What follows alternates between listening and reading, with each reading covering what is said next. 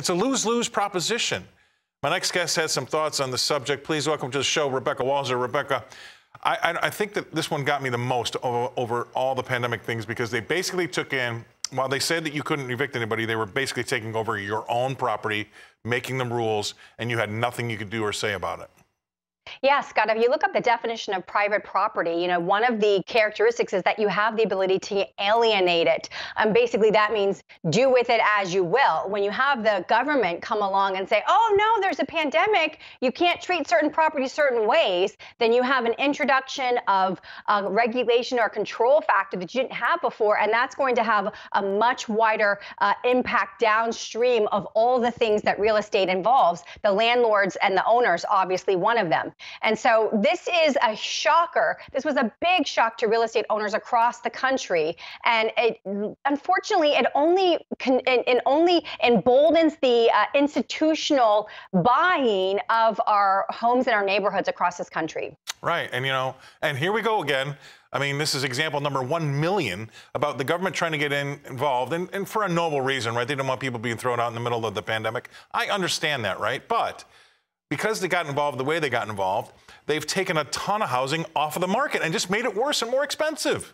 That's right. That's exactly right. The law of unintended consequences, which we lawyers really care about because we know that anytime, you know, it's like the law of physics, right? Anytime there's an action, there's an equal and opposite reaction. It's the same thing in the law. Anytime you implement a policy, there is some sort of reaction to that policy. When you tell, you know, landlords and homeowners they cannot foreclose or evict people, you know, it's interesting because if you had a mortgage, those mortgage payments usually get tacked onto the end of your mortgage with penalties and interest, you know, and unless you work negotiate negotiate something differently. But if you're just saying to a landlord, you can't collect rent and you can't evict these people, you had almost a free pass. Even, and I'm not saying a lot of Americans are good people and they will pay their rent, but I'm saying when you have a policy that comes out and has a blanket, you can't evict anybody, you have people that maybe could have afforded to pay their rent that say, hey, I can't get evicted. I'm going to, you know, not pay my rent for a couple of months. And, and that happened. And we know that that happened. So it's, it's a big problem. And then you have the fact that this actually increases cost because you have home ownership going up by that much more. And then when you have price and additional risk,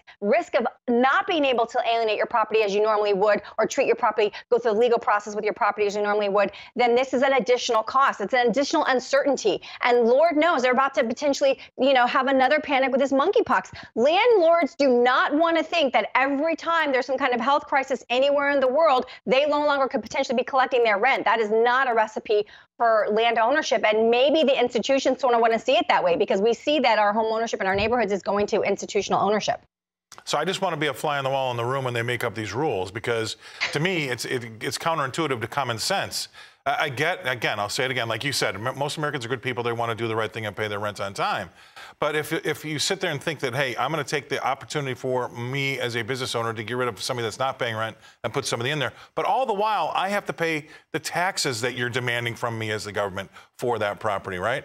Or I have to pay the mortgage if I don't own it outright for that property. I am paying and getting stacking up all of these bills while I'm not allowed to get rid of the person in there to me, it, it, it, it, defies common sense. I can't believe that people in the room would number one agree to that. But it got worse because we had one governor in Michigan that if you owned two homes at that same period of time, because of the transfer of people, she was worried about the disease spreading or the virus spreading, you weren't allowed to go to the other home you owned and paid taxes for in that same state. Which to me, so those two things, if that doesn't get your blood boiling about what was happening during the pandemic, because I have to remind people, because everybody's already forgotten about how bad it was and the dumb rules we had, you have to remind people about those two things where they actually confiscated your personal property without your permission.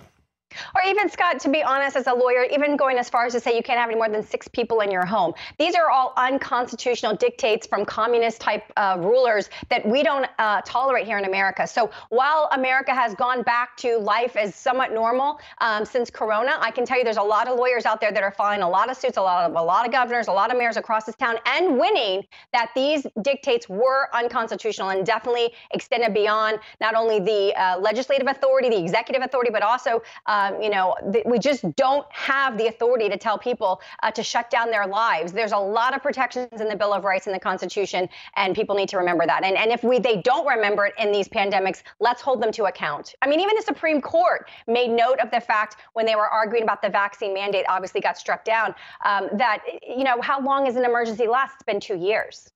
Right, and the problem is, is that I know it's wrong, but I don't have time to take off of work and fight, you know, get a lawyer and then fight this. They, they know that you don't have the ability to do that. When Chicago Yeah. shut down private parks, you could could not walk through a park by yourself with a mask on because the park was quote unquote closed because of the pandemic. It just doesn't make sense, and again, it defies logic. And so I had a warning from my HOA in Arizona. I had more than six people in my house.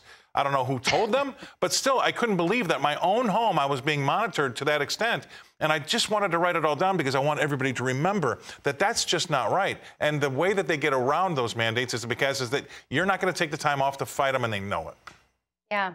Well, there are still lawyers out there that will, Scott, and I promise you those fights are happening. And a lot of wins, a lot of wins have accumulated. So there's a lot of governors that have a lot more restrictions this next time around. They try this stuff again. And a lot of Americans, I think, Scott, are a lot more uh, skeptical about the news and vaccine effect, effect, efficacy and all these things Right. that have changed. A lot more people are going to be like, let's see the data. We want to see the facts. We want to actually know what you guys are saying is actually true because there's been so much, unfortunately, misinformation uh, throughout these two years. And a lot of it is fear mongering to get people to comply with things that they know that they really don't have the authority to do in the first place. Well, they got to watch you and I more often. We'll set them straight, right? All right. I That's really right. appreciate that. Awesome stuff. We'll, we'll watch this again tonight, I'm sure, someplace else. Thank you very much, Rebecca Walser, for coming on the show. Great content. Really appreciate being on. All right.